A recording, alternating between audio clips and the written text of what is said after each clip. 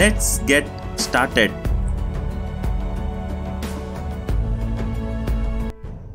As per NFPA 13, we are going to calculate the theoretical water demand for sprinkler system.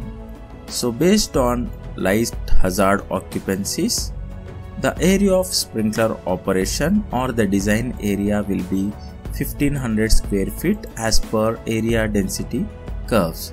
The rate of application or density will be 0.1 GPM per square feet. Area covered by one sprinkler per NFPA 13 for light hazard occupancies will be 225 square feet. Now we are going to calculate the maximum number of sprinklers operating at a time will be based on the formula total design area of sprinkler operation divided by area covered by one sprinkler so we are going to get about 7 sprinklers so the total number of sprinklers will be 7 which will be operating at same time in the design area.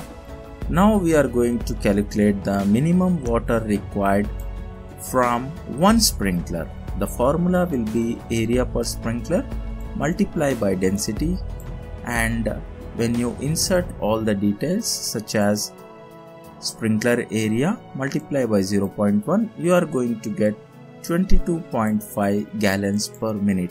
So this 22.5 gallons per minute will be the flow from one sprinklers. So now we have 7 sprinklers. So 7 multiply by 22.5 we are going to get the sprinkler demand which will be about 157.5 gallons per minute there is another way to calculate the sprinkler demand which I am going to discuss now. So the total sprinkler demand can also be calculated from the area density curves and the formula will be hydraulic design area multiply by density. So 1500 multiply by 0.1 will be 150 GPM. So from these two the sprinkler demand based on number of sprinklers is more so the demand will be 157.5 GPM. However, as I already told you earlier, we need to add hose stream allowance for NFPA 13 since it is a light hazard the total combined inside and outside hose will be 100 GPM. So the total water demand will be total sprinkler demand plus hose stream allowance. So 157.5 GPM plus 100 GPM will be 257.5 GPM. Similarly, we are going to calculate theoretical water demand for ordinary hazard group 1 occupancies. So we know the area of sprinkler operation and the density and area covered by one sprinkler for NFPA 13 for ordinary hazard either group 1 or group 2 it will be about 130 square feet so maximum number of sprinklers will be 12 and the minimum flow required from one sprinkler will be 19.5 GPM for ordinary hazard group 1 occupancy.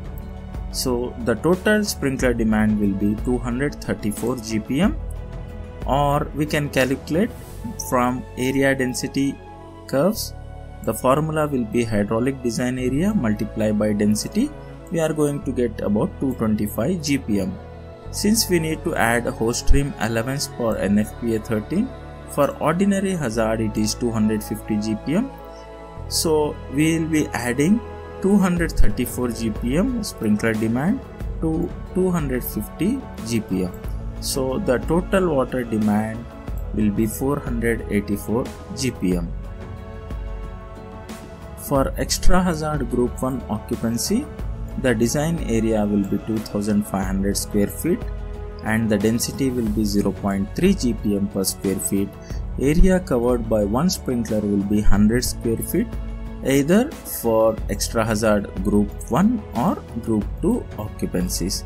Maximum number of sprinklers operating at a time will be 25 and the sprinkler flow will be 30 GPM. So now we are going to multiply 30 GPM with total number of sprinklers. So we are going to get about 750 gallons per minute. It is the sprinkler demand. However, we need to add the hose stream allowance for NFPA 13 which will be 500 GPM. So 750 plus 500 will be 1250 GPM.